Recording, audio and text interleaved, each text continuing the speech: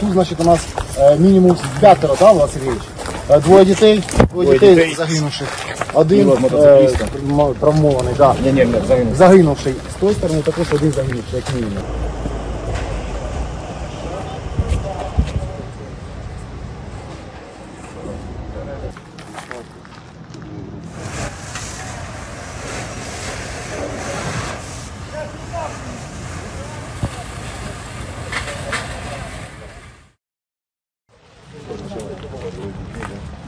Тут, значит, у нас э, минимум п'ятеро, да, Влад Сергійович?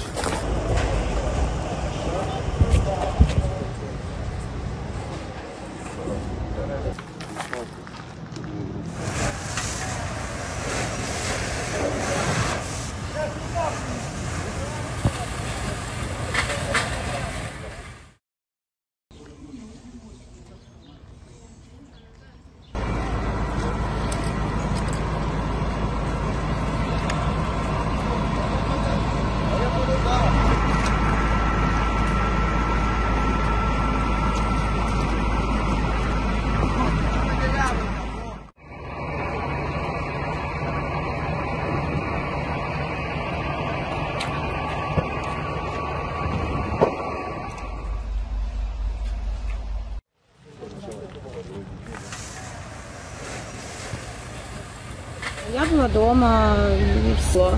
а поряд просто лежали трупи. Тут був салон краси, там згорів чоловік в машині.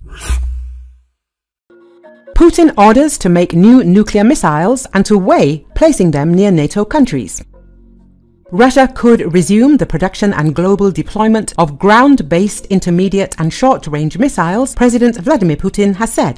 Munitions of this type were originally restricted by the Intermediate Range Nuclear Forces Treaty, which collapsed back in 2019, yet Russia opted neither to produce nor deploy such weaponry even after the demise of the Cornerstone Agreement with the US. During the Cold War, such missiles were a key part of the Soviet force. But in the early 1990s, the United States removed from Europe all of its intermediate range ground based nuclear cruise missiles and ballistic missiles, and the Soviets eliminated their SS 20 missiles. These moves were considered major steps in reducing tensions. But a decade ago, Putin reversed Russia's move, deploying Iskander missiles to Kaliningrad, the Russian region closest to Western European cities. Vladimir Putin made the remarks during a meeting with permanent members of the country's Security Council. Hostile actions by the US now require Moscow to review its stance on the Intermediate Range Nuclear Forces Treaty covered weaponry, Putin told the gathering. Moscow has lived by its promise to neither produce these missiles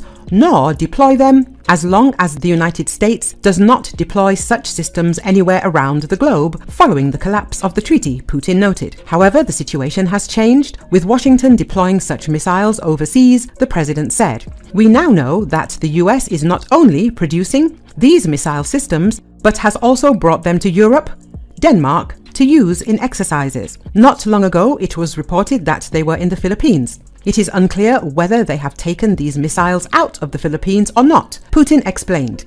Russia now needs to respond to this and decide on our further steps in this regard, Putin stressed, suggesting the resumption of intermediate and short range missiles was actually the only option for the country. It appears that we need to begin producing these attack systems and then, based on the actual situation, decide on where to deploy them to ensure our security if necessary, he said.